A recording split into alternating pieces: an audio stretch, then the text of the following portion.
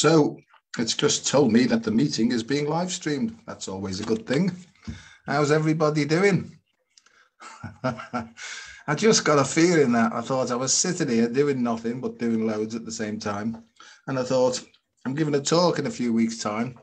I think I'll take a few of the slides out and just share them with people to see if it helps. Because the techniques that I'm going to talk about have helped me considerably over the last 30 years to restore my sanity, or some might disagree with that, and to keep my feet generally firmly planted on the ground and also my head in a reasonably level state. Or that's what I think, you know. But so what I'm going to do is I'm just going to go onto my Facebook doodah on the phone. And then I'm going to share some of these slides. So just bear with me. And let's see what's going on. So if I press that there, oh, I've pressed the wrong button again, I think. clumsy I am. I'm clumsy. Yeah. I'm always breaking things. No, I don't know why that's not working. Just bear with me. There we are. Something's happening. Oh, yes, that looks good. Let's have a look. I'm, I'm supposed to have the fastest broadband available, and it doesn't seem to be very good, to be honest with you. I get better reception when I'm running with the phone in my hand. So anyway, I don't see that coming through yet. Um, and I'd like to, and I've got the cat jumping around in the background. She'll probably dive on my shoulders any second now.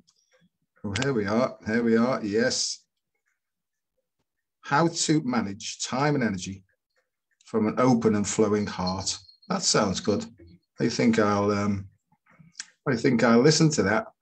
So I can see Amanda Summer, she's put something there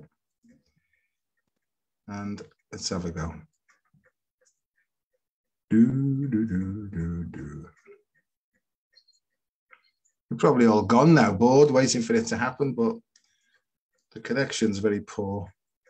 So what I'll do is I'm just going to sort of um, assume that this is actually happening live, and I'll wait till my phone comes on. But I'm going to share my screen. There we are. And this is what I'm going to talk about is this is an I Am Connection Live presents. Da, da, da,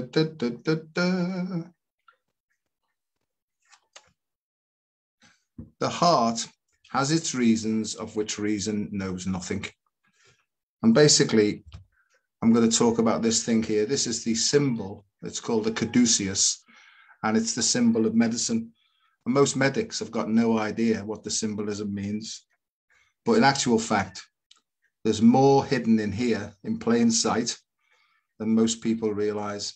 So, what I'm really going to talk about in this little sort of quick gab is ascension, something called ascension or evolutionary development, where we move. These are two intertwined serpents or snakes that move up, and as we grow, we ascend, if you like, into these new stages. And there are seven stages. And when you reach the seventh stage, you get your wings. You can fly off because then you're free then.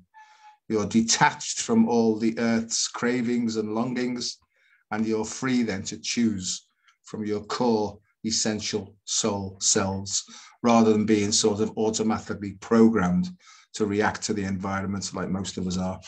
And I didn't know anything about these things. It was really by I became very very ill, and um, you know I tried to do myself in because for, after years and years of stress and anxiety and depression, I just thought I can't carry on like this anymore.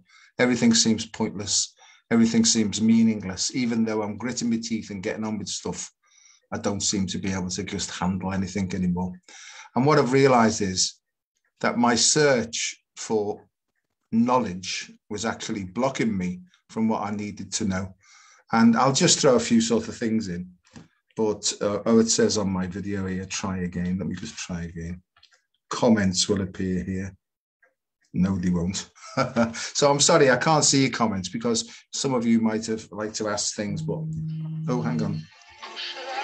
I'll have to decline that call as well. So it's all happening. So yeah, the, this really describes the sort of what I've learned, and I don't know everything, but what I've learned over the years is the more head knowledge I gained, the more it blocked me off from my heart. So this is intellect, and this is where intuition lays. And I know now that all the solutions to all my problems can be found if I reconnect here in the essential part of me, which is basically my soul self. So I'm going to sort of show the sort of neuroscience of what's going on. And the heart has its reasons, of which reason knows nothing. So logic doesn't come into this really. Um, and I think what's going on at the moment is there's such a massive influx of information coming from all different sources that it's very, very difficult for people to take on board all the information, to process it, to remain calm with it all, and to make healthy choices. So I think I'm going to give a few tips on what I've learned. And as I say, I don't know everything. You know, feel free to chip in in the comments uh, with helpful suggestions. But I know now that simply, if I can learn to take a step back when I'm feeling overwhelmed or flustered, take a step back, ground myself, and go to my heart center and breathe in a certain way that I'll discuss then things settle down and it's almost as if my intuition my inner teaching right helps me to make more healthy choices. So there's no doubt about it. I feel that there's astronomical meaning really big. Astrological changes taking place in the heavens which are impacting upon us in the earth right? And i think it's knocking a lot of people off their feet. And what's been happening to me recently is I've been waking up with no feelings at all, almost in a void of feelinglessness, right? And I was a bit concerned about that initially, but what with sitting down and sort of meditating on it, what I've realized is it's almost as if everything that ever had meaning for me that was picked up or, or acted upon through either fear or pride, all those old programs and conditions are almost like being washed away from me and leaving me, if you like, with what's called a tabula rasa, a blank sheet for me to create a new life coming from a different motivation. That's how I see it now. So if anybody else is feeling that sort of devoid in the void, right, I feel that it's a very positive thing. So please don't let your head talk you out of it and get depressed and stuff. I feel it's very, very, uh, it's a cleansing, if you like, or purgative process. Anyway, I do go on. So the heart, the heart has its reasons, of which reasons knows nothing. And what a fantastic bit of kit, isn't it? You know, but you can see there it's almost like spiraling rather than just pumping up and down. There's almost a spiral effect, you know, and that's because it generates, if you like, a toroidal field, you know, a field of electromagnetic, or actually, it's a magneto-electric effect, where it generates a magnetism that sends information back to our head, right? And most, this is who I am anyway. I'll, I'll quickly whiz through this, but I've got a bit of a PhD there. And what I was looking at is how what goes on between our ears, how it directly impacts upon the way that our heart works.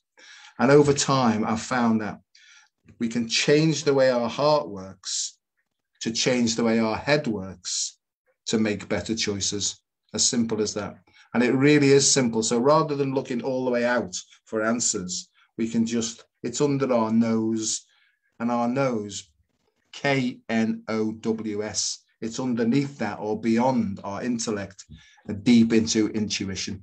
I hope this is making some sort of sense. And by all means, you know, say if it's not in the comments so I can refine it, you know, to try and get the message across in a in a better way for more people. So um, I've got some qualifications in science. Um, I'm a member of the International Society of Autonomic Neuroscience, which is basically about programming and how the uh, brain and the spinal cord and the autonomic nervous system, how they hold patterns based upon what's happened to us in the past. So that's that's something for another day.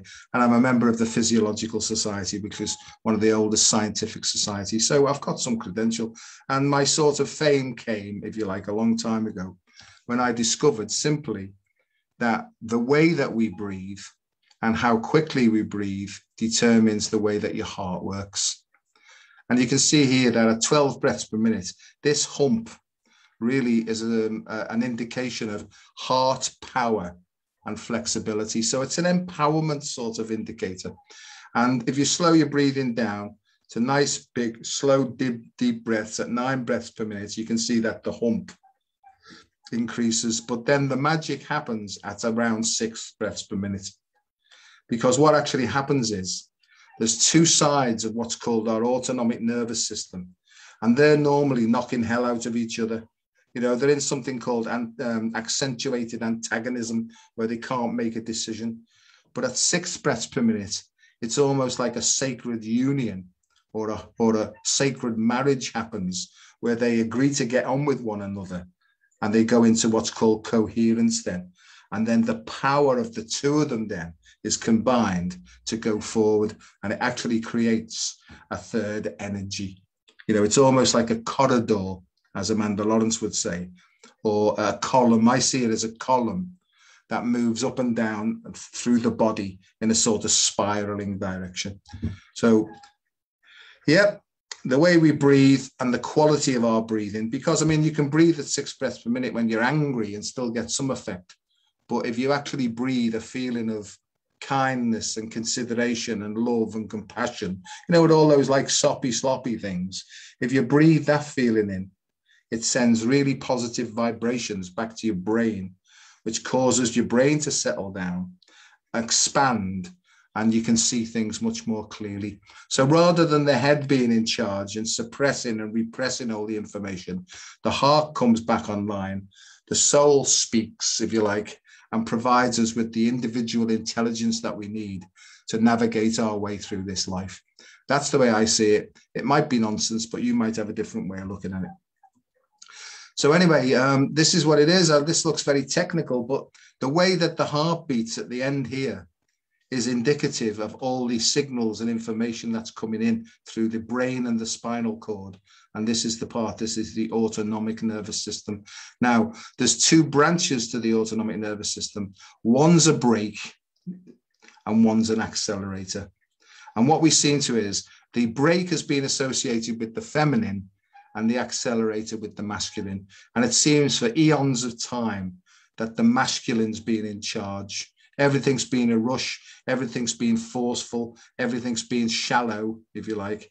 Um, and I'm talking, I'm not talking male, female here. I'm talking masculine characteristics and feminine characteristics. So what we really need is we need to reset and increase the tone of the parasympathetic nervous system.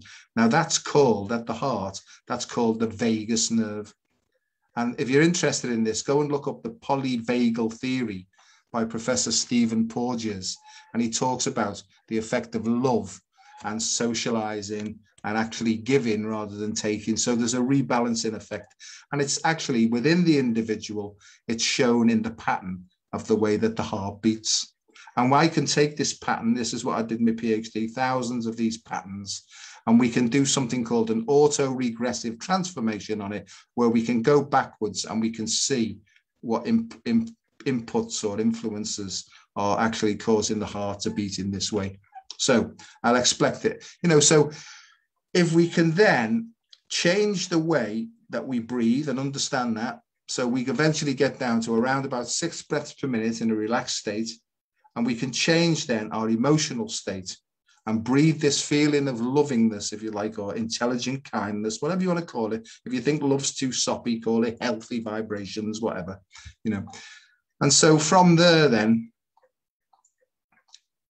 we can then, rather than using things like cognitive behavioral therapy, where we use more thinking to try and change the way we behave, we can actually tune into the way the heart works through breathing and positive emotion, and we can send the information the other way around.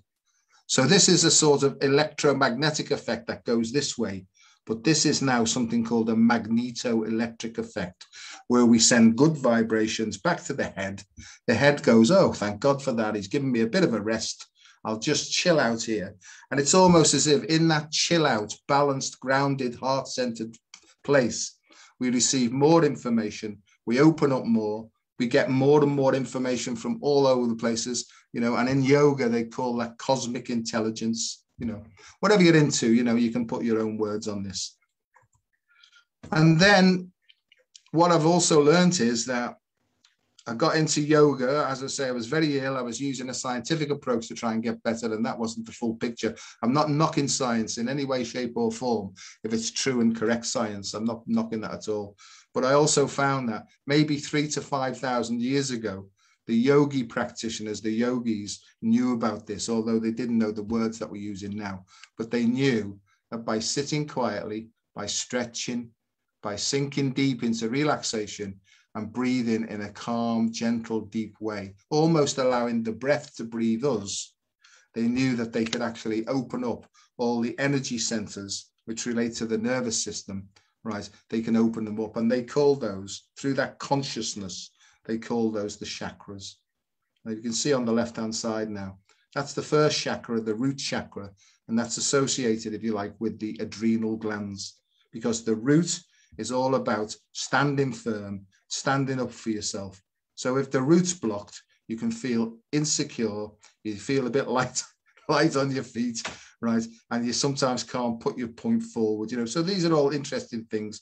So that's associated with the adrenal glands. The next chakra, the um, this is red, orange, yellow, green, blue, indigo, violet. You can use colors to represent the different frequencies. So we start off with the base frequencies, which are low, and then we ascend them into higher vibrations and good vibrations, if you like.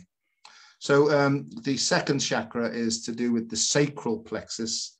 You know, uh, the first one's the pubo, pubococcygeal plexus, if you like, uh, for anybody who's interested. The next one's the sacral plexus, which is to do with sex and the gonads. So they're the sex organs.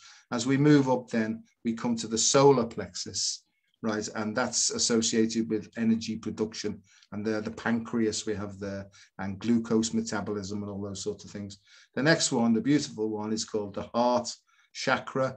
And this is associated with the thymus gland, which is actually associated again with the seat of your immunity and your immune system. So anything that closes the heart down through fear and worry and anxiety, it can impact upon your immune status. And therefore you leave yourself open to all sorts of different diseases and illnesses and stuff like that. That could be relevant for the time that we find ourselves in. The next one, the blue one, is the throat chakra, and this is associated with the thyroid and the parathyroid glands. Again, fear can actually cause the throat to constrict, and then we can't stand up for ourselves and we can't speak our own truth or sing our own song. So anything then that empowers this bit so that we can actually voice what we really feel and mean is something that's positive and will help us to go forward and ascend or evolve as a full human being. The next one is the um, associated, this is the, the brow chakra. And some people say it's associated with the pituitary gland. Some people feel it's the pineal gland. I personally think it's the uh, pituitary gland, but it doesn't matter. And the next one, which is becoming more and more important, is the pineal gland. Now, the pineal gland is the crown chakra, and it's also the seat of chronobiology, which is about time.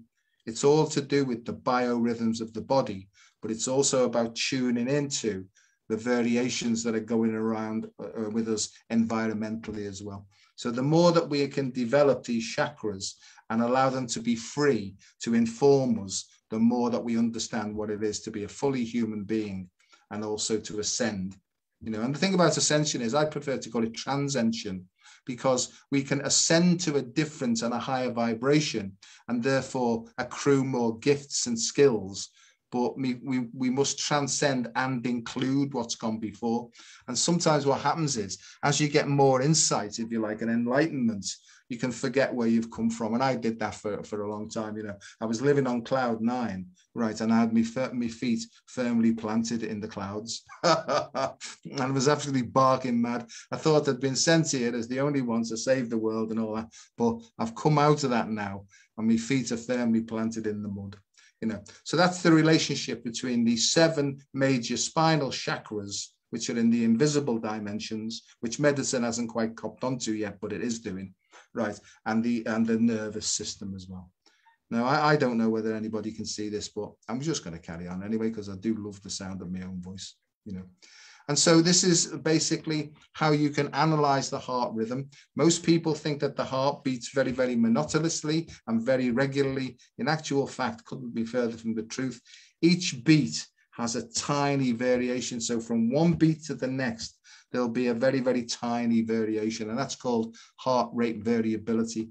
And we can take a certain segment of this heart rate pattern and we can, as I say, go backwards and analyze it, and we can get information of where the signals are coming from.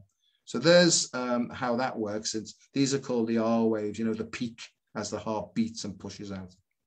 And so if we take five minutes of data, we can see We've got all sorts of variability there, but it's all very, very jaggedly. So what we want is we want as much variability as possible, but we want it to be coherent. We want it to be, it's a bit like when you're driving a car, a bit of gas or a bit of acceleration and a bit of brake as well. So it's using the accelerator and the brake very, very gently and harmoniously in order to bring a smooth ride in. And we can do that to our heart and if the heart's beating harmoniously and it's not wearing out so quickly, we don't feel so stressed, tensed, irritable, and all that sort of business. So that's that one. And if we do what's called a power distribution of that, we can see that the power is actually being dissipated in various areas. What we really need is we need that power to be more focused. And this is how you do it. So this is somebody breathing We're in a relaxed state at six breaths per minute and you can see there that as they breathe in, the heart rate increases, and as they breathe out, it decreases.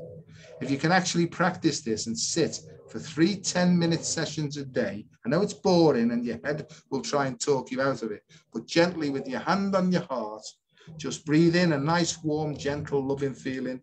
Breathe in all the way in, two, three, four, five. Stop. Out, two, three, four, five. Stop and just do that. Now your head will jump in. Oh God, this is terrible. This we've got better things to do. This particular technique, I can honestly say to you, has helped me to save my life and improve my life beyond my wildest dreams. Because I realized that I was able then to let go of what my mad head was telling me with all its stinking thinking, you know, very negative thinking. And I was able to find a different source of information or intelligence that was coming from deep within me. You know and if you look at things like yoga that can help you to settle into this or even tai chi and qigong and exercises because as you actually move and breathe that bring the hands up you can breathe in and as you actually stroke down you can breathe out as well you know. So that's what that looks like. The power is all then centralized in one point and that represents empowerment, true empowerment. And in that focus and undistracted state, everything appears clear. Now, I get moments of this real clarity much more often than I ever have done. And it's just by simply practicing this technique. So you can take it or leave it, chaps. This is, I'm only talking about my story. So that's what I would say to you is you just, if you're feeling, if your head's up, you, no, don't say that, Joe. If your head's battered, and you're knackered and you're tired all the time because this is also a way of not burning energy so foolishly and running around in a sort of manic state trying to get everything done. Because in that state we burn ourselves out. With burnout repeated burnout comes trauma. So we can become mentally unwell and that can be sort of recovered through this technique quite quickly and we can get a bit more sort of clear insight on what's going on. But if you actually keep yourself in that state, it can then become real mental ill health then and mental illness, you know, and that's actually what happened to me. So there we are. I'll just take this out now. And unfortunately, let me see. I don't know whether that's helpful. I don't even know whether anybody's seen this. I, I can't see. I'm just going to, for a couple of minutes, because I'll have to go in a minute and do some hoovering. Otherwise, I'll be in trouble. So just bear with me. And oh, there we are. Let's see what, because I'll have to go. Oh, there we are. It's working now. Comments will appear here. oh, no, they won't. All right. Well, I hope that you've got something from that. I hope you've been able to see it. Um, as I say, the talk I'm giving is an hour long and I'll bring more sort of subtle things in. Now, I don't know whether I'm being guided here to do this more often, whether I'm being guided to actually set up some modules. I don't know. I'm not into all that other stuff, but maybe I'm being shown that, yes, it's about time, you know. So I do sense there may be a course on the way. Um, and that's maybe how I'll make a few shillings in the future, you know, to keep yourself going because I've retired generally from most of the stuff that I do now uh, and need something to keep me going. So with that, I'm going to love you and leave you. And I hope that you've got something from this. I can't unfortunately answer any messenger calls or anything like that. I'm, too busy with all sorts of other things that are going on in my personal life. But um, I'll try and do some more of these and um, see if it helps. So may the force remain with you. And just remember that the heart has its reasons, of which reason knows nothing. And what you're looking for, based upon my experience and my understanding, is it's in here, not in there. On that note, Dr. Joe signing off. Bye bye.